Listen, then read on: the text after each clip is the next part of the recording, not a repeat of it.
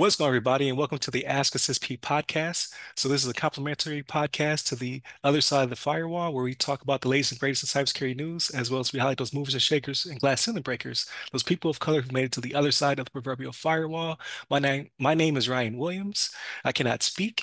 So, with me today is Allen Westley. He is a CSM, a CISSP. He holds an MBA, uh, as well as he is a DE and I champion uh, within the field. So I wanted you to kind of break down who you are, uh, what brought you into uh, cybersecurity, so your cybersecurity origin story, and then we can kind of talk about what you currently do. So without mm-hmm. further ado, I'll give it to you. Thanks a lot. I appreciate that, Ryan, and I appreciate you for bringing me on, giving me the opportunity to um, to you know have this discussion. Um, so yeah, my name is Allen Westley. I'm a, um, a director of cyber intelligence. Now I'm doing strategy uh, as a um, as an individual contributor. So it's interesting uh, moving between those two roles. But um, I've been doing that across three different um, across three different defense contractors for the past oh I don't know um, 15 years. And prior to that, I was an IT manager. Um, so I worked with technology then uh, at Boeing Company, and then um, and that is actually where I I, um, I ended up into cybersecurity. But going way back to talk about you know my entire path is I, have had lots of jobs, right? I've been a janitor when I was really really young, just cleaning up cigarette ashes and and, and cigarette butts in um, in uh, in the sweatshops, the phone shops, uh, call centers, all the way up through um, when I went into the military. Um, even as a even as a uh, as a ground pounder, so to speak, as a grunt, I ended up in the back of a PLL trailer controlling the whole computerized inventory uh, inventory of uh, equipment that was deployed downrange because I was the only one that knew how to use the laptop, or the one, only one that had an interest in using the laptop. Right. So that, that became my role. So that's you know that's how I ended up you know kind of working with computers. Um, how I ended up on this uh, role where I am now is it's like you said when we were in the in the pre-recording here. It's it's a crooked road. Road. Everybody's path is different.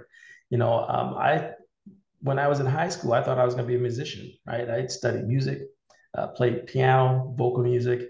I thought I was going to be an entertainer. Right? And I was going to school in um, Seattle, Washington at the time, and all of my friends who were in music and doing those types of things ended up in computers. Most of them started working over at Microsoft, obviously, in uh, in Seattle, where the headquarters is, and everyone else went off to different places. And everybody that I, when I, you know, I'm in touch with some of my uh, alumni folks, and they're all in, working in computers, right? So it's the, you know, there's a there's a tie between um, music, I think, and and, I was going to uh, say that's pretty interesting. And so, do you think it was proximity, or do you believe that there is a bridge between music and uh, infrastructure technology? Like maybe because of how much uh, you know, soundboards and lighting and things of that nature, like AV.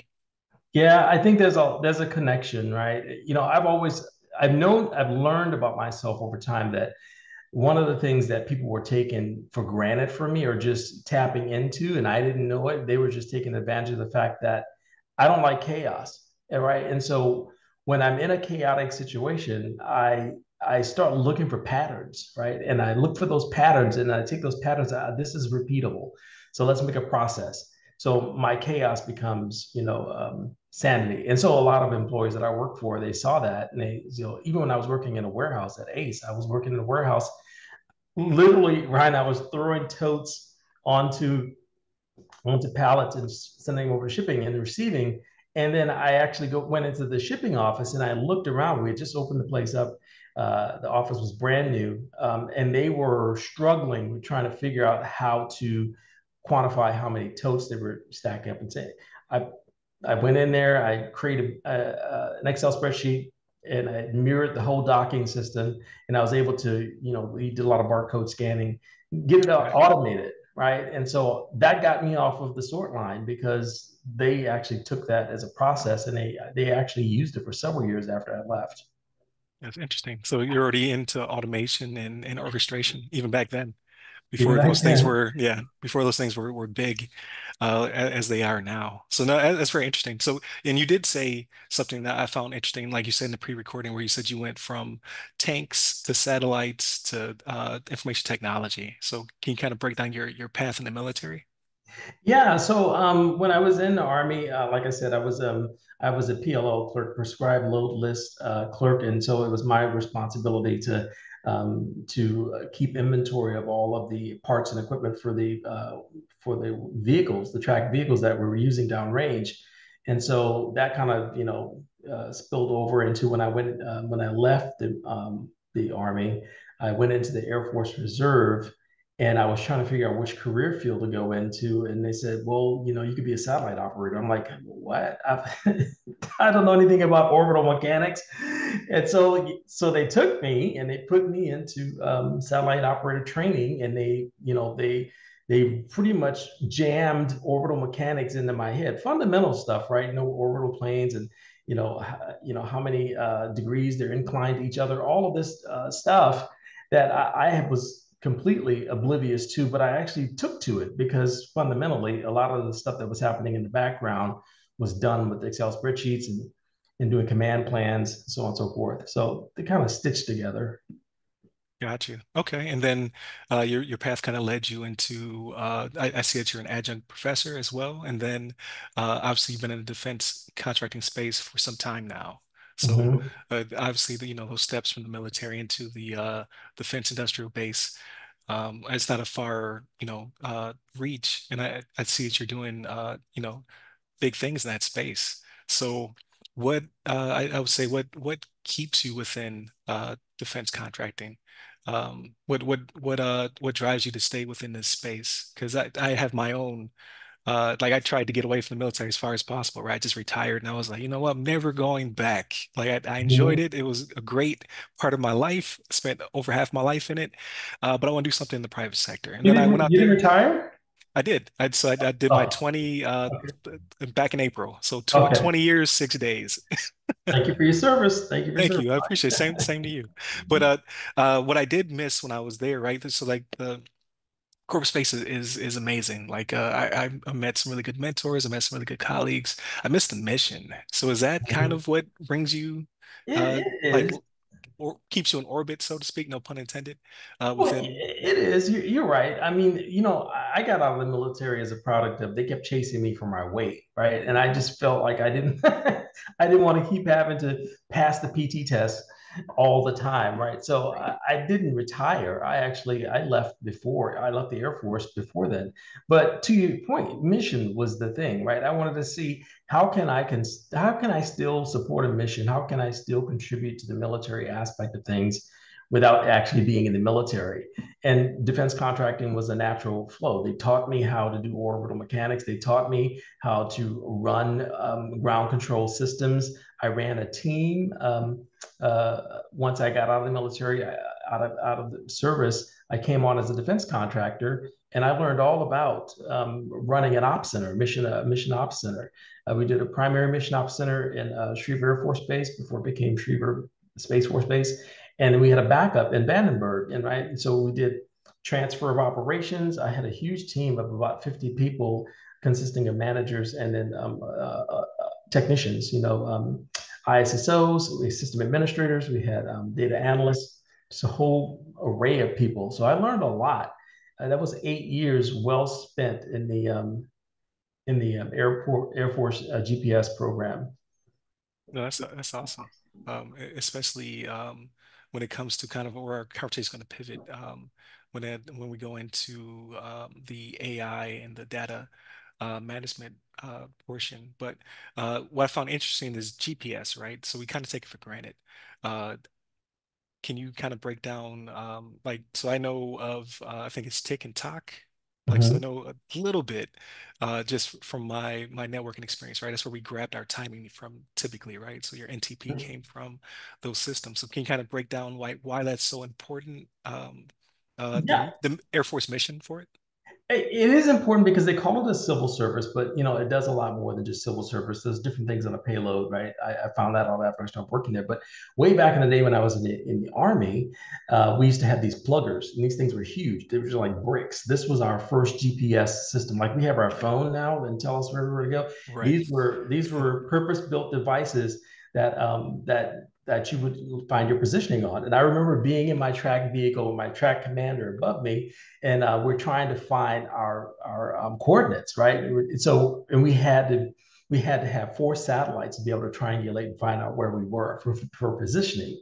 And what I didn't know at the time was um, the satellites above and below the horizon and how many you have above the horizon and how much precision you can get depending on how many satellites you had in view um, my track commander was telling me, Westley, I, am losing, I'm losing GPS. Drive over the hill there. And so I, in the moment, I'm like, I'm driving, trying to get this signal. And then fast forward, where I was a satellite operator, and I have understood how satellites and how GPS works. I was like, I could have drove all day, and I would have never right no satellite view. but you know, that's that's just the dynamic of being on the battlefield and then actually being behind the technology. And that's the thing that that i am really passionate about because what we do as defense contractors, there are people on the ground who don't understand the technology. They just need to have that service. They need to have that capability. They're not really concerned about how it works. And for me, that's a driver. That's, you know, I understand the importance of what we do. No, uh, absolutely. And and I think a lot of people take it for granted, just SATCOM in general. Um, so when I uh, was stationed here in, in Florida, I worked for the Joint Communication Support Element. Uh, so we do a lot of tactical work with um, uh, three-letter agencies, the task force, things of that nature. I'm a switch and router guy by trade, but they make you a broader communicator, right? Like you learn SATCOM, you learn radios, uh, and yeah, SATCOM blew my mind. Like the, just the stuff we could do uh, when it came to um, transporting data uh, and just trying to figure out like so we had uh, Hawkeye Light threes, we had 2.4s, things of that nature. Just learning how that worked. I, I got a, a, pretty good um, uh, appreciation for SATCOM uh, operators uh, and, and, communicators throughout all the services, right? Uh, mm-hmm. so yeah, working with Harris and L3 and all that good stuff. So definitely like uh, learning, like you said, how low orbit works. I was just like mind blown, right? So I am just getting a taste of it. It's not my career. It's just I had to know enough to be able to set up the you know SATCOM communication equipment, right? right. Uh-huh. To be able to transport you know my my data. So yeah, uh, uh, amazing stuff. Um, so when it comes to your um, adjunct uh, as as a professor, uh, what what do you teach? So I teach cybersecurity and what's interesting is I teach cybersecurity to foreign students, most of them from India, and uh, the classes are are in person, right, uh, in Orlando, and some of them are online.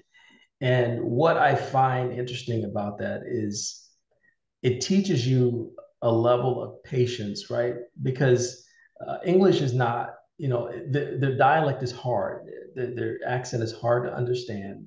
But with some patience, you know, it it's not that it's not it's not difficult, especially when you start uh, talking about cybersecurity. You make it in terms of things that people can understand, right? For instance, you know, um, the difference between you know, um, or the reason why I advocate for people if you're working at an organization, especially if you're working at a defense organization and you deal sometimes with classified information, to carry two devices, the one that the employer gives you and then your own, because a lesson learned is if you get a data spill and it gets on your personal device, and if the customer says it's severe enough, right. they have the authority to tell you to destroy that device. And I just made a choice. I said, I am not going to crush up my $1,200 phone. so I carry I carry a work device, and so if something needs to be wiped, uh, you know, they can tell me, you know, destroy it, or they can do a, a, a wipe on it, whatever they want to do. It's not mine and I don't have any personal information on it. Right. No, I, absolutely. So yeah, I've I've dealt with classified uh, uh, message spillage, right? CMS cases. You're like, yeah, we need to contact Yahoo and let them know. right. But, but making those, that's the thing when teaching, right? Is is making uh, telling stories number one, and number two is making it relatable, right? In real time. You know, asking things like, one of the things I really I find in, insightful is when I ask my students is how many apps do you have on your phone? You know, and people you can see the puzzle look on their face, and then they, some people 80, 90, 120. You know, yeah, it's it's possible to have over 100 apps on your phone. And the next question I ask is, how many of those privacy statements have you actually read when you were downloading Oh, those apps? zero. Zero. yeah. That's very true. Like, yeah, this this uh, calculator app wants to use your camera. You're like, wait a minute, what? This Why is it in my camera? makes no sense. But no, that, that that's awesome. And yeah, uh, I, I I absolutely understand the uh the aspect of patience. Like, so I, I did a little bit of uh of teaching, but not to foreign students, right? It was to blue suitors, green suitors, um, uh, who How was were that? Uh, really good actually. So I, I did it in Turkey, right? So I worked for UMGC, and uh, most of these students were trying to complete their CCAF. So it was a lot of intro classes. So I never really got to teach like the like not to say like it's not the good stuff. Like yes, it, every class is the good stuff, uh, but I never um, was able to go past some of the intro classes because that's what they needed to pass their CCF, right? So I, I couldn't really Mhm. get into their bachelor's or master's courses, even though I was qualified for it. Uh, so the, the most I ever got was Sec Plus, Net Plus type boot camps, which I, I thoroughly enjoyed. But then when you have psychology majors, like not to knock that, my undergrad is psychology, my, my master's being a cyber, because I was thinking about pivoting and I didn't. I was like, you know what, I'm going to stay over here. Um, but to see the light bulb go off, that was my favorite part. To see where you can, like you said, break something down and make it practical. And they're like, because they they're always they seem intimidated by technology, but I'm like, you have a smart, you have uh, one of the world's smartest computers in your pocket. Like you you have this. You get it. You just I don't feel comfortable or confident in yourself um, to um, uh, to you know have that swag when it comes to talking about networking and things of that nature. But once you get to the end of the course, you had like like I said, psychology majors Mhm. or uh, infantry guys and stuff like that, like able to break down signal flow. And you're like, yeah, you got it. Like you can do this. So that's awesome to see. Uh, you know, we have that that uh, in common. I have not taught since I got back in the States. It's very hard to It's get hard. It is get hard. back in. Yeah. It's hard. Well, it's hard when you have a full-time job too, right? So I was Yes. teaching twice, two nights a week from um from five until nine at night. And then, you know, you have the day job on top of it. But in that case, you're doing it because you want to, not because I wasn't Right. because I had to. Right, right. Passion. So one day I'll go back into it. I, right now I'm just trying to retire for a little bit, right? Do my job, go, you know, hang out with the kids. Uh, but yeah, one one day I'm going to get back on on the uh, the horse, so to speak. Um, so when it comes to uh, initiatives, so I also saw we had in common uh, the DEI aspect of it. So I, I we kind of started getting some conversation, but like like I always tell people, I don't want to burn too much material when I have that conversation uh, on the podcast. So when I initially started the podcast was uh, during COVID. So Mhm. uh, I was going crazy, right? I, I just arrived in Turkey uh like at the first year like 2020 of the of, of COVID and they were more locked down than states were surprisingly or, or not surprisingly depending upon your your perspective. Um so it was like go to your hotel room do not pass go. Uh you're going to be here for two weeks. Go straight from the PAX terminal Wow. To your hotel room someone will bring you food hopefully which they did um Like that's so like that, prison. yeah, basically. Uh, so, so that's when I started. I had the idea in my head to do the podcast. I said, well, I have nothing but time to research and to start it. Uh, and then during that time, I was very um, intrigued with the transition, right? I was, I'm not sure if I'm going to get out the military or not. Uh, I have another two, two and a half years. Um, and when I talked to my coworkers, a lot of them were saying like, hey, in the military, it is a melting pot, believe it or not. When you come out here, it is not that. it's very one type of person here in cyber and, and IT. Um, and that kind of lit the flame, right? Like, okay, I want to build my network. I want to make it as big as possible. I want to help other people in this transition as well. Uh, because I didn't I didn't know how good I had it, right? Because uh, uh, especially being joint uh, when I was with the Joint Communication Support element, you had people from all walks of life, all services, all races, everything. Um, Mhm. and then to find out that's not the case on the outside, where the stats were, we only make up 7% of cybersecurity, right? We only have like two or 3% who are in those senior, senior, uh, senior and senior suite positions. Mhm. Uh, is just a very small group of people. Um, So, hey, I need to branch out. I need to to do this. And I saw a lot of other people were starting to to start that initiative as well. So it's good to see that you still have that initiative. It's good to still see people are still doing it because what I found after the pandemic was a lot of that was going flat. It was like, hey, we need to make these record-making profits, and this is something we need to cut, and that's very disheartening. Uh, so Mhm. again, thank you for uh, for being a DEI champion, because uh, there's not many of us able to do that right now, especially in this uh, this climate. Yeah, you're right. Um, I, I was I'm the um, I'm the former chair for uh, what we were what we called at L3 Harris L3 Harris Employees of African Descent. I did a two-year stint as the chair. I just transitioned out of it uh, the beginning of this year. We have a new chair. But when I was in there for those two years, that was, you know, mentoring and um, and it, you never know, Ryan, when people how people view you or when they're watching you. I mean, literally, I would be traveling through the airport. Not that I'm famous, but you know, you you pass people, right? And and they've been on they've been on a call that you were on, and there's like a hundred people on the call, and you were giving some kind of a talk as the chair, and then they see you, and I'm like, you're I'm like, I had to stop. I'm like, you know, am I dressed okay? Am you know, did I say something? Did they hear me say something bad? Because you start thinking about Right. that. Right? But the, the other side of that is is even if you don't want to be, you become a remote a role model. I'm sure you see the same thing, right? Right. and mentoring folks, right? I, I, I absolutely believe in mentoring, especially uh, our young men. I was at the NSBE conference, and you know there was a gentleman walking by. He was um, that's the National Society of Black uh, Engineers, um, and uh, he was going to uh, he was going to one of the briefings, and he had a suit on, right?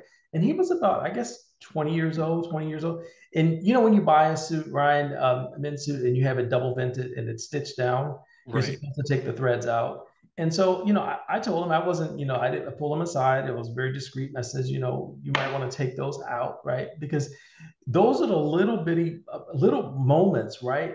And if you take that suit and go into an interview, people are going to make impressions, right? You're walking away and they're like, well, why does he still have the, the stitches in the back of it? You know, it's just the small things, right? And um, he was very appreciative of it, right? He said, I, well, I didn't know that just just small things but you know mentoring uh, being a de and i champion it means a lot in terms of um, uh, saying things and bringing things forward from the members at large from lead that um, that needs to go up the chain. Because i sat on the uh, on the de and i council with our ceo mr chris Kubasik, and he was very much an advocate proponent for what we were doing. And um, if we wanted to change something you know we want to fly a flag for juneteenth we do that. Um, we want to have different events, professional development. We want to talk to the board member. We can get a board member onto our um, Zoom and have them speak to our um, to our members at large.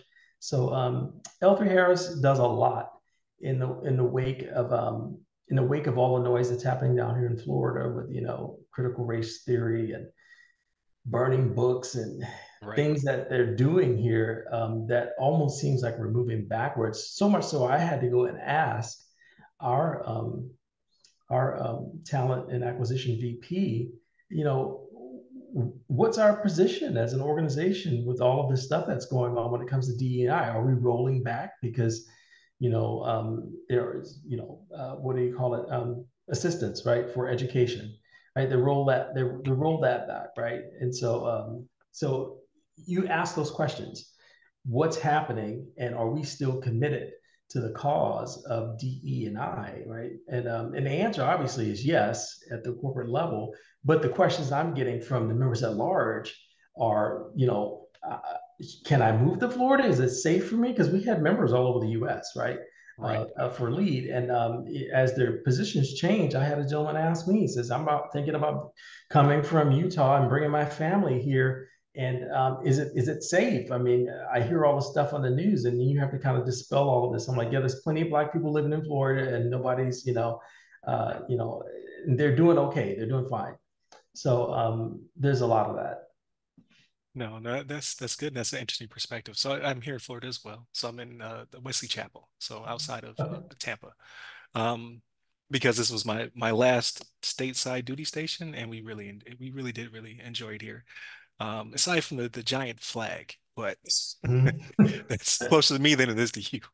Um, But uh, with that being said, so I, I think that's a, that's a very good segue into the AI conversation Okay. because there, there's a lot of uh, ethical uh, ramifications and just talk amongst uh, uh, communities because of the impacts AI can have uh, on groups um, because of who may be working on it, right? So AI bias, ethics, things of that nature. One of the first stories we did was on Dr. Gebru from Google and uh, kind of the fallout that she had with them uh, when it came to the ethics of AI and how she didn't uh, feel comfortable with where it was going, right? Um, uh, since then, I believe she started her own company. She's championed a bunch of um, initiatives as well to try to um, uh, get the right people in the room when it comes to building uh, these large language models and things of that nature, generative AI.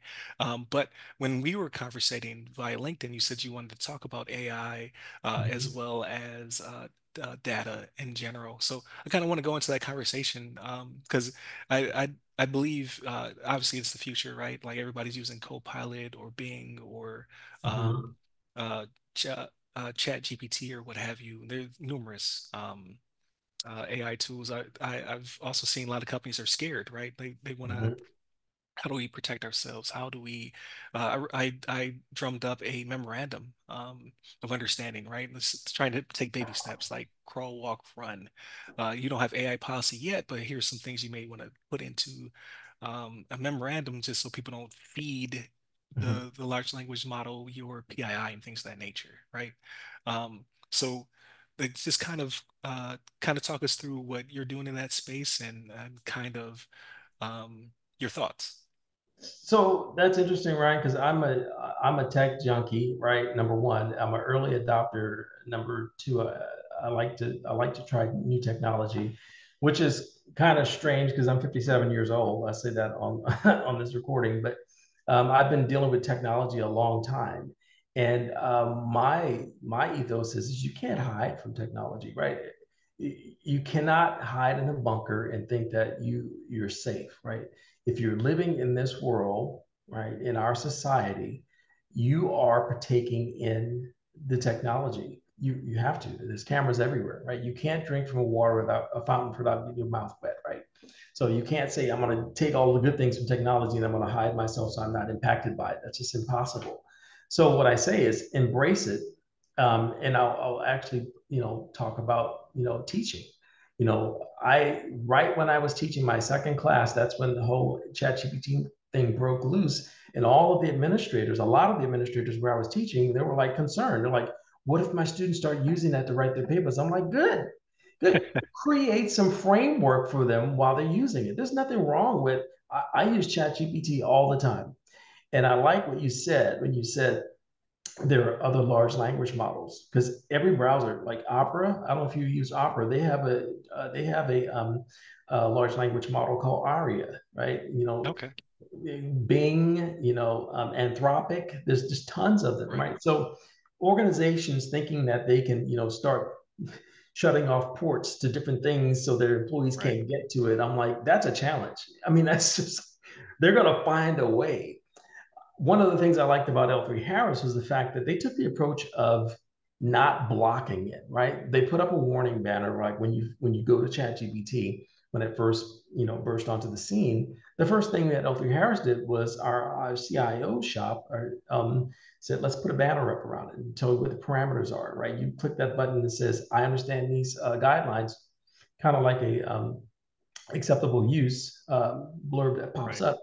And then you go and it says in there, don't put company proprietary information in there, don't put PII in there, do not put any information into this large language model. This was way back in like way back, right? But in the beginning of January of, uh, of last year, right? When it burst onto the scene. And fast forward till today, and now we have our own custom in-house um, large language model Oh, that's very call it interesting. you know we call it LHX GPT, and it's trained on our on our company information, but it's not on the open internet, right? So it's it's internal. So uh, I think people see the value in this, and I absolutely do. I mean, if you follow me on LinkedIn, you'll see I have a virtual avatar. My voice has been cloned. I I can do literally 10 to 20 recordings. All I'm doing is writing in a script I feed it into HeyGen. HeyGen post processes it, and outside the uh, the other end comes a full production video. And it looks just like me. Like I'm t- standing here talking to you right now. That's how my avatar looks because it's it's it's me. It's just been recorded and processed, and so now I have this template that I can just write scripts I write the script, and then I can use their public avatars to weave in with my own, and I can have a team of people talking about a topic. You know, it obviously they can't talk together, but you can hand off from right. one scene to the next scene, and then do a closing on it. And it's just it's a tremendous tool for uh, for learning. I do learning videos for my um, Cyber Explorer um, uh, LLC that I run now. And it's like I got all of these employees I don't have to pay for. right. no, that that that is very interesting. Like uh from wow. Like so that that gives me a bunch of different uh questions I want to ask, but I don't know if I want the answers to. So it's, uh, I'm still taking baby steps, right? Uh, because I I am hyper vigilant when it comes to it. Like I notice the future, and I'm very excited about um, the the implications, especially when it comes to um, just working smarter. However, my uh, my my fear is leaning too fast. So what I've been currently doing is I will do um, assistance. I'll write it all up, and then I'll feed it um, the the bits information, um, right? I'll sanitize it, I'll feed it to it, and I want to see. Give me a different perspective on this. Give me, uh, as though I'm talking to this type of audience, or give this to, or give me a more critical, um, concise approach to this. Here's three paragraphs, uh, and that is why I've stopped. I have not gone past that just yet. So That's it's more of assistance than than generation. But that's how you're supposed to use it, right? And I think a lot of people get confused with that, right? I think they, they think it's gonna, you know, I just, I just, it's a genie, right? I ask it a question, it gives me a magic answer. I use it for ideation. I'll, I'll take things and I'll walk through it. I said, oh, well, I have a premise for an article and I want the article to be about this. Go out and do some research and get me some substantial references that support my premise. And then, you know, there's a whole back and forth because I, I, I wrote years before ChatGPT ever happened. I was writing articles, right? So I I come from a background of having a writing process, and I know the importance that of how words matter and how words can be used to um, uh, to evoke emotions, right? And so I use all of that. Plus, you know, we we had um, English lit when we were in college, both of us, you know, so we know how language works right? And the importance of words. And so when I'm sitting down using that tool, I'm using that tool not as a person, you know, looking to, for to give me all the answers. I want to have a dialogue. I want to have do some ideation. You know, I want to test my premise. I want to test my my theory. I want to test the tone. I want to have it, you know, written in a way. If my audience is technical, I want it written technical. If my audience right. is not technical, I want it more relatable. And th- those are the types of things that you can put into a prompt and you get more you get more productive output that way than if you just type a one liner and then you get mad because I see people on online all the time. Chat GPT is dumb. It's garbage in, garbage out. Right. You take your time and you and you actually use it as a collaborator as opposed to just you know a vending machine. You put two nickels in and pull the handle and get your candy bar. It's it's not like that. No, that that's that's very very well said actually. So yeah, so I, I guess my process is okay. oh yeah, because where I'm currently absolutely. at. You need more people need to think about it like you do, Ryan. It's like you know I want to sit down and and think about this and do some critical thinking as I'm having these interactions and not just trying to you know get something for nothing. No, absolutely, and that, that's why I didn't fear it when, because uh, I I I was transitioning back to the States as it was starting to become more of a uh, academic um, challenge, right? Where teachers were, you know, afraid that they're going to get generated papers and what have you. So I didn't have to deal with that, luckily. Um, but again, like you said, garbage in, garbage out. Like you can tell if it's not a person, especially if you've been with that person for an entire term. You can tell, like, hey, I've read your stuff. this is not in your voice. like this is that is a that is a good point. And what I did as an experiment, um, Ryan, is I went back 14 years ago when I was writing. Uh, and I grabbed up all my articles that I had written before ChatGPT. I put them into PDFs, and I fed all those PDFs into um, into um, ChatGPT, and I said, assess my writing style. Tell me what my weak points are. Tell me what my voice is, and mm-hmm. you'd be amazed at the output that you get back valuable output, right? It, some of it validates that you think you're with the bee's knees and you were really good. Some of it says, well, now you weren't so good. Your, your vocabulary needed some work. It stank over here. You could use some. And I get new words that I hadn't used before. And so um, I use it. I use it in a very in, as a research partner, as a um, as a uh, as a ideation partner where I can right like an actual well. assistant as opposed yeah, to assistant. Yeah. That's the word. Yeah, I'm saying all these words to say assistant. Yeah. no, it's great. no, yeah, we're on, we're on the same page. No, I I, I think that's a very interesting perspective. Uh, when it comes to data, so I know you wanted to talk about that as well. Um, so is it from the perspective of management or like where where what where, what's our journey right now when it comes to data? I think people are starting to come to grips with um, data is the core value uh, of their business, right? It used to be, uh, well, um, I make widgets. Well, if you don't have data, you can't make widgets, right? Data is, you know, that's how you that's how you're defining the widget you want to build, right? And what's your critical information, right?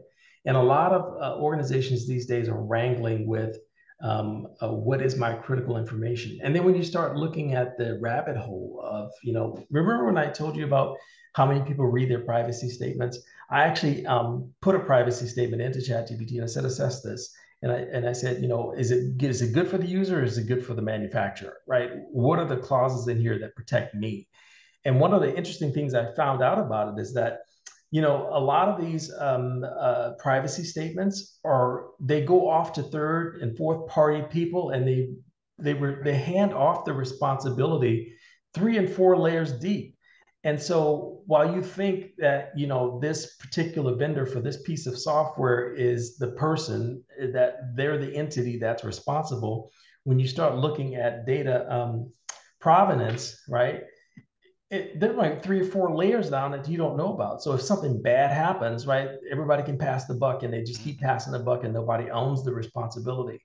So when I talk about data, uh, I, I, talk about data inside of an organization, you know, knowing what is your core data, knowing who your third party entities are, and knowing how they're protecting the data and what their privacy statements are. And, uh, and if you have to go three or four layers deep, if your business is that critical or what you're dealing or the data that you're getting from those sources is that critical you need to be that detailed. And so you need to have some legal eyes involved uh, for privacy and for litigation and for liability. And then you need to have your you know you need to have your engineers and program managers and your data analysts. It, it just you know cybersecurity and data are inextricable. And uh, having those two things um, as functioning parts of the entire organization it's just imperative. It's just not it's not it's not something that you can not do anymore right? You right. can't and, say that that's it's problem. You're right absolutely. And i think you hit the nail right on the head uh, especially when it comes to uh, vendor management um, because the uh, the government's not playing around anymore. Like when we talk about CMMC 2.0 and things of that nature, uh, you're going to have your your feet held to the fire. Like, are you protecting people's PII? Are you protecting the the government's classified information? Uh, are you That's protecting bomb. the vendor class, classified information, uh, UCI, mm-hmm. and all that other good stuff? Um, so those things are starting to uh, obviously roll up more on the federal side, where they're trying to um, basically uh, hold you accountable. And then with the SEC now holding mm-hmm. CISOs accountable, even though there's still a lot of arguments should CISO have a seat at the table or not, uh, but they're showing up to all the court dates. So that in well, itself shows saying. just wait. Should I have a seat at the table? Um, right. But if I'm caught up short, you can certainly fire me. right. like, right. Oh, exactly. you can't have your cake eat it. So you can't say like, no, I don't have uh, uh, leverage when it comes to the conversation yet I'll be the one who's going to have to to show up um, to trial. So there yeah. there's a lot uh, to to unpack there uh, when it comes to like you said uh, data, critical data, and then vendor management. Like you uh, again. Um, I don't read the the uh always like so I I peruse, but uh, I, I'm just as guilty as anybody else. I can't read 90 uh user agreements. Like the, the only ones I've read are the ones I wrote. right, right. All right. Um, I, I just found this interesting website. Um, a gentleman uh, stood up. his- I forget his name. Um, I forget his name, but he sent me the link. And what it is is that it is uh, um, a database that he's built that's tied to the SEC, dis- SEC's disclosure. Because every time you- the new rule dropped last uh, last year in December, and it's in effect now for disclosure, you have like four days to disclose. Microsoft just got caught up in a big thing with um, with um, uh, Blizzard. Um, and uh, and now I just found out it was released today that another organization uh, just got caught up by the same threat actor, nation state actor. Mm, So, um, but these are real time disclosures now. I mean, this literally it happened today, and it got it made it onto this um, it made it onto the website because 8Ks are publicly accessible. This isn't information that's hidden. You can go out to um, to the SEC site and you can go look up your organizations if you're publicly traded you can look up your organization and uh, you can look for the 10K and the 8K reports. The 8K is where all the disclosure happens now. And so people are actually got paying it. attention to that. No, that's that's that's I mean that's good. That- It's good that it's it's it's happening uh, much faster. The adoption of it is much faster than I expected. I was like, no, that the people are gonna drag their feet. The SEC is gonna have to take a lot of people to court. Uh, that doesn't seem to be the case. I, I mean, that's that's good news. The news. only Uh, danger with that, though, Ryan, is that you, you've been doing this for 20 yeah, some years. You know when a cyber attack happens or ransomware happens, the story is never as good the second time around as it right, is, you know, or the first time around. They, they run in and they say, "Oh, I had this breach," and you know maybe it's not that bad, maybe it's worse, right? You know, you don't know until you right. Until you a chance. Like, assess. yeah, they've done the investigation, so So yes, it, it is a double-edged sword. So yeah, I'm, I'm not looking at it from the perspective. So I'm looking at it from the perspective of a citizen or a client, not as the the uh, CERT team, there's nothing but alarms yeah. and screaming happening. So yeah, I, or the PA team, right, uh, as Mhm. well. Like there's a uh, it's rolling downhill uh, at that point. So that that is very interesting as well. So I, I do have the luxury of not having to be in that seat. Um, so yeah. So for those who are listening, they're probably like yelling at their their radio. Like it's too fast. So I get it from both both directions. But no, that's very interesting. So uh, I'd be remiss if I didn't ask the question. So because you're you're a wealth of knowledge, this has been a really good conversation. So I definitely have to have you back on the show. Um, what have I not asked you? Like what what a because you you've been on a, a few different uh podcasts. Uh like like you said off offline, you're you're becoming a seasoned pro over here, right? So uh gonna book you before you get too busy. But what Uh, have you what have you not been asked or you're like, man, I wish somebody would ask me this question? what do I do for fun and what do I like? And I, um, Okay. So and Godzilla movies, man, I will, Okay. I will hurt somebody to go see a God- Godzilla movie. I just, I, I don't know. I'm amazed at how Godzilla can tear up Japan and then put it all back together in a week Right. start over. Because I used to watch it when I was growing up, black and white with my mom, and I was like, oh my God, they rebuilt Japan. He's gonna tear it up again. It's like Tokyo is gonna tear it up.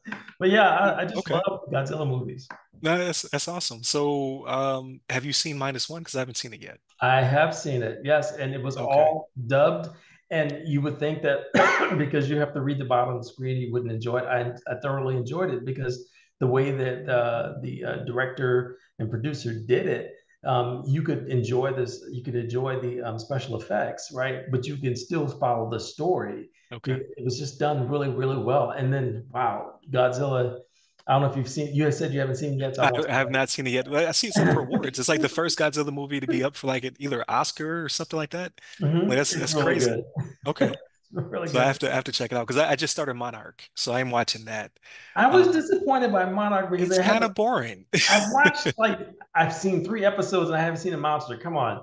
Yeah, uh, so that's where I stopped at. So that's exactly where I'm at. I just saw uh what a kaiju like for the first Mhm. time. It was tearing up. Uh, it was kind of cool. It was tearing up something they were inside of, so they're trying to escape it. Yeah, Um, and I was just like, man, I don't know if I could do three more episodes before I see another one though. I Like, know, right? How you how do you make this boring? Like, I hear it gets good though. I do hear it gets good, so It's gotten probably better. The storyline gets better. I, I, once I put once I've um, once I've decided that I'm not going to see a monster every five minutes, and I'm actually Right. to buckle down and listen to the story, then it got better. Okay. Okay. I I have to jump back into it because I'm like, man, this this should be right up my alley. But I'm just like, ah, I don't know. Yeah. Um, so uh, aside from Godzilla movies, uh, uh, any any books, uh, any any uh, TV shows, anything that's caught your attention recently? So one book that you know, if I want to be high-minded, because I, I'm really when I when I'm at the movies, I'm uh, really shallow. I just want to be entertained. Uh, but if I'm being high-minded, I would say the power of um, giving away um, power is a uh, Okay. very very good book. I wish I would have um, brought it over here. I don't want to step away because then I'll break the uh, background. But um, maybe next time, I'll, if you have me on again, I'll, I'll show you that book.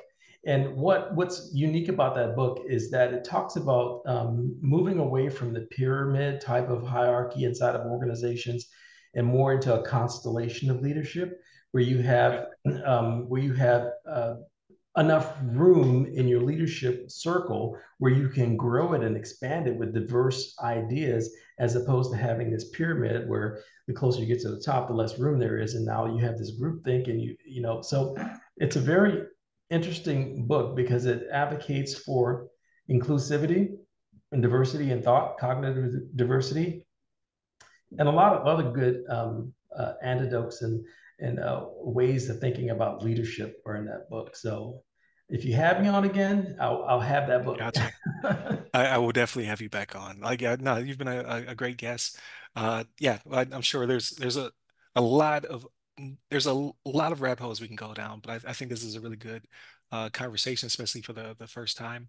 Uh, I always tell people I don't like to do a lot of research on the person before I meet with them, which is kind of counterintuitive to to quote unquote journalism, but I'm not a journalist, so I would like well, to absorb the if you're going information. do all that digging and it's somebody you don't want to have back on your show. Well, yeah, I like to to absorb the information like the audience absorbs it, so I can ask those questions that they may also be interested in. Um, but yeah, don't, I'll never be mistaken for a journalist because I come in very flat-footed. But the good thing, like you say, recorded, right? Like you do a lot of your stuff recorded. The good thing about be recording is if you were crazy, I'd be like, well, you know, that was an interesting 45 minutes right, I right. can't air. You won't get it back, but yeah. Right. Well, no, it's been it's been uh, a pleasure. Definitely have to get you back on. Um, I'll I'll plug the uh the show real quick. So uh we are back Monday through Friday. So Monday, Tuesday are topics, Wednesday discussion, Thursdays Ask A CISSP. Uh so this one will go live uh not this Thursday, but the next Thursday, but continuity wise, the audience does not know which Thursday is which. Uh and then Fridays are everything else, movies, books, games, all that good stuff. Um so uh you can find us at the website go by our name. You can hit me up at RyRy Security Guy. That's R-Y-R-Y Security Guy. You can find me on LinkedIn, Clubhouse, Twitter, and Threads. Uh, and you, Allen, where can people find you? Oh, yes, you can find me on LinkedIn. Um, I write a lot on Medium. I'm on uh, Substack, and um, I'm on LinkedIn newsletter. So you can look me up, Allen Allen Westley, A L L E N W E S T L E Y, um, and you can find me at Cyber Explorer as well. But yeah, that's that's where you can find me. Awesome. And I'll get, grab all those links from you, and those will be in the description. So if uh, people did not catch it, they can also click on it. So that's what we'll go for. But yeah, uh, definitely continue to tune in throughout the uh, the week. We'll continue to to roll the show. Uh, we're still in season two. I'll probably break and do season three uh, fairly shortly. Um, keep keep uh keeping on and stay safe, stay secure. Ryan, thank you for having me on the show. I had a blast, and um, I look forward to you have me on again. Looking forward to it. Take care. Absolutely. Take care.